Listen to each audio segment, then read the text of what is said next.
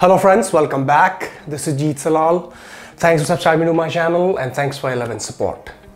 Guys, आज बात करने वाले हैं हम बहुत ही फेवरेट टॉपिक यानी कि बाइसेप्स के बारे में और आज मैं आपको बताऊँगा कि मोर देन 80 परसेंट पीपल जो गलतियाँ करते हैं बाइसेप को लेके बाइसेप के वर्कआउट को लेके आज मैं आपको इस वीडियो में बताऊँगा Uh, हम बात नहीं करेंगे फॉर्म्स की टेक्निक्स की पोस्चर की क्योंकि मैं बहुत सारी वीडियोस बना चुका हूँ उस पर ऑलरेडी और बता चुका हूँ कि क्या क्या मिस्टेक्स होती हैं फॉर्म को लेके सारी चीज़ें। तो आज हम स्पेसिफिकली बात करने वाले हैं बाइसेप वर्कआउट जब आप करने जाते हैं तो आपका अप्रोच अप्रोच की बात करेंगे हम। यानी कि आपका बाइसेप के वर्कआउट का वॉल्यूम कितना होना चाहिए उसके कितने सेट्स होने चाहिए और उसको वीक में कितने बार, यानी कि उसकी फ्रीक्वेंसी क्या होनी चाहिए? तो बहुत बड़ा रोल प्ले करता है बाइसेप आपका ग्रो होगा या नहीं, इस पे भी, क्योंकि अप्रोच अगर गलत हो तो सब कुछ गड़बड़ा जाती है। सो so गाइज़ ये इंटरेस्टिंग वीडियो स्टार्ट करने से पहले मैं आपको एक क्विक इन्फॉर्मेशन देना चाहता हूँ कि हमारी हिमालयन स्टाइलिन एकेडमी यानी एच एस एकेडमी का जो पहला बैच है, वो फिफ्टींथ ऑफ़ दिसंबर को स्टार्ट हो रहा है, कुछ 10-20 दिन बाद, क्योंकि मैं दिल्ली आ रहा हूँ और ये जो क्लासेस हैं हमारे एकेडमी के फिटनेस एकेडमी की क्लासेस ये मैं रन करूँगा, यानी कि पर्सनली जो क्लासेस हैं प्रैक्टिकल्स और थ्योरीज मैं कंडक्ट करूँगा दिल्ली में। तो जो लोग भी इंटरेस्टेड हैं और करना चाहते हैं सर्टिफिकेशंस स्ट्रेंथ एंड हाइपरट्रॉफी और फिटनेस न्यूट्रिशन का तो वो एनरोलमेंट करा सकते हैं एनरोलमेंट ओपन हो चुकी है। उसका लिंक आपको डिस्क्रिप्शन बॉक्स में मिलेगा रजिस्ट्रेशन फॉर्म का। और साथ ही साथ एक ईमेल एड्रेस भी है वहाँ पे। अगर आपको कोई क्वेरी है या आप जानना चाहते हैं मोर इन्फॉर्मेशन चाहते हैं उसमें तो वहाँ पे आप ईमेल भी छोड़ सकते हैं। और गाइस तो चलिए शुरू करते हैं वीडियो को। अगर आप मुझे इंस्टाग्राम में फॉलो नहीं कर रहे हैं, क्योंकि सारे अपडेट्स एचए से रिलेटेड वहीं पे हो रहे हैं और आई एम प्रीटी श्योर कि आप लोग मेरा वन मिनट वाला वीडियो भी मिस नहीं करना चाहते होंगे तो प्लीज़ इंस्टाग्राम में फॉलो कीजिए। सो गाइस पहली चीज़ जो आती है बाइसेप के अप्रोच में बाइसेप की ट्रेनिंग के अप्रोच में वो होती है आपकी अपने बाइसेप यानी टोटल अपने आर्म के बैलेंस को नहीं समझना। यानी कि किसी भी वर्कआउट को जब आप कर रहे हैं तो उसका एम एक एस्थेटिक एक सुंदर बॉडी बनाने का होना चाहिए।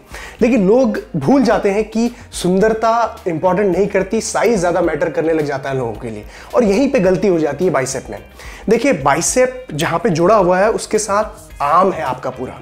आर्म में आपका ट्राइसेप भी है शोल्डर्स यानी कि डेल्टॉइड्स भी हैं। ये पूरा आर्म आपका तभी सुंदर दिखेगा जब सारे के सारे बॉडी पार्ट्स यानी कि मसल्स आपके इक्वली आपके डेवलप्ड हो, यानी कि एक दूसरे को कॉम्प्लीमेंट करते हो। प्रॉब्लम क्या हो जाती है, जब भी हम एक मसल पार्ट पे ज़्यादा इंफोसिस डालते हैं, बिना जाने कि हमारा दूसरा मसल पार्ट उसको सपोर्ट करने वाला कितना वीक है तो अक्सर देखा जाता है कि बाइसेप कुछ ज़्यादा डेवलप हो गया है ट्राइसेप फ्लैट हो गया है तो एक बहुत ही अनबैलेंस्ड फिजिक बनने लगती है, आम का शेप ही बिगड़ जाता है। और आपने देखा होगा, एक कार्टून कैरेक्टर है पोपाई उनके हाथ का जो कैरेक्टर यू नो जो शेप है, कुछ वैसा सा होने लगता है। तो हमेशा हमें कोशिश ये करनी चाहिए कि एक बैलेंस में सारे मसल पार्ट्स बराबर तरीके से हिट हो।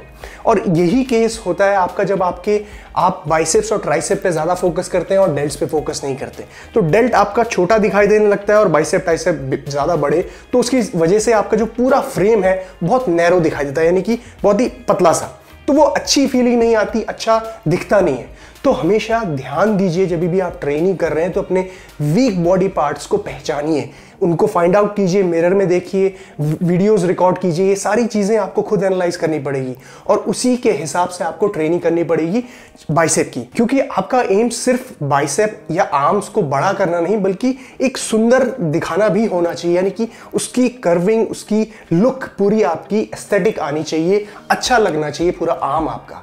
दूसरा पॉइंट आता है यहाँ पे आपके वेरिएशंस यानी कि एक्सरसाइजेस और वॉल्यूम का, यानी कि नंबर ऑफ़ सेट्स कितनी एक्सरसाइजेस और कितने सेट्स उसमें लगाने चाहिए आपको जब आप बाइसेप की ट्रेनिंग करने जा रहे हैं। तो ये हम मान के चल रहे हैं कि आपका जो पूरा आर्म है, वो ओवरऑल बैलेंस्ड है। अब सिर्फ़ आपको ओवरऑल अपने बाइसेप्स और ट्राइसेप को बढ़ाना है। तो बाइसेप की अगर बात करें तो बाइसेप एक छोटा मसल ग्रुप होता है। देखिए, छोटा मसल है जिसे आप ज़्यादा वेरिएशन देने की ज़रूरत नहीं पड़ती, यानी कि पाँच, छह एक्सरसाइजेस करने की कोई ज़रूरत नहीं है। आप अगर तीन से चार वेरिएशन भी करेंगे एक दिन के वर्कआउट में तो वो इनफ होगा आपके बाइसेप के वर्कआउट के लिए। अब sets number of sets volume की बात करें तो total number of sets bicep he bicep को टारगेट करने के लिए अगर आप 10 सेट्स भी लगा रहे हैं मिनिमम और मैक्सिमम 12 सेट्स लगा रहे हैं तो वो इनफ होगा आपकी एक दिन के वर्कआउट के लिए। आ, लोग यहाँ पे कंफ्यूज हमेशा ये करते हैं कि भाई बैक की तो मैं पाँच एक्सरसाइज लगा रहा हूँ छः लगा रहा हूँ आठ लगा रहा हूँ और उसके तो मैं बीस सेट्स लगा रहा हूँ। तो क्यों ना मैं बाइसेप के भी उतने लगाऊँ? हमें ये समझना पड़ेगा कि जितनी ज़रूरत होती है, उतना ही ट्रेनिंग देनी चाहिए और उतनी ही इंटेंसिटी डालनी चाहिए। फॉर एग्ज़ाम्पल आप एक बाइसेप कर्ल्स आपने लगा लिया बारबेल से, उसके बाद आपने हैमर कर्ल्स लगा लिए डम्बल से, उसके बाद आपने एक इंक्लाइंट बाइसेप कर्ल्स लगा लिए डम्बल से, उसके बाद फिनिश करने के लिए आपने कॉन्सेंट्रेशन से कर लिया। तो ये इस तरह से तीन चार वेरिएशन करेंगे तो वो इनफ होगा आपके लिए। तीसरा पॉइंट आता है यहाँ पे कि वीक में कितने बार ट्रेन करना चाहिए? यानी कि फ्रीक्वेंसी क्या होनी चाहिए? बाइसेप की अगर हम बात करें, उसको कितने बार ट्रेन करना चाहिए? तो देखिए, मैंने आपको पहले बताया कि एक छोटा मसल ग्रुप है और छोटे मसल ग्रुप होने की वजह से इसकी जो रिकवरी है, थोड़ी फास्ट रहती है बड़े मसल ग्रुप्स के मुकाबले। So within 24 to 48 hours आपका जो बाइसेप है, वो रिकवर हो जाता है अगर आप एक की सही डाइट और सही रेस्ट आपकी बॉडी को मिल रहा है तो। तो टेक्निकली अगर मैं सही इसकी फ्रीक्वेंसी बताऊँ तो हफ़्ते में अगर आप दो दिन ट्रेन करेंगे, जैसा मैंने आपको बताया वेरिएशंस तीन से चार रखते हुए और टोटल 12 सेट रखते हुए एक दिन में तो आप दो बार आसानी से हाई इंटेंसिटी मतलब कि हैवी लोड देते हुए बाइसेप के वर्कआउट को कर सकते हैं।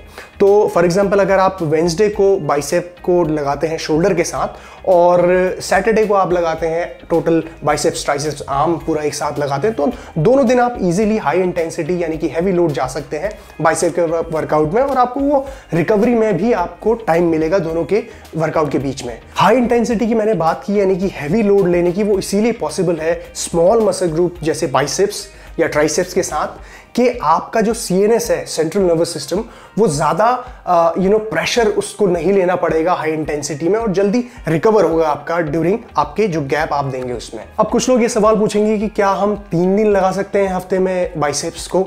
और जैसे आप कह रहे हैं बारह सेट एक दिन लगाइए, बारह सेट एक दिन तो बारह सेट एक और दिन लगाएँ। तो ये तो बहुत ज़्यादा ट्रेनिंग है ओवर मतलब वॉल्यूम इट्स टू मच तो इतने ज़्यादा एक्सरसाइजेस करने की ज़रूरत नहीं है। हफ़्ते में अगर आप दो दिन ट्रेन कर रहे हैं, जैसे मैंने बताया तो इनफ होगा वो।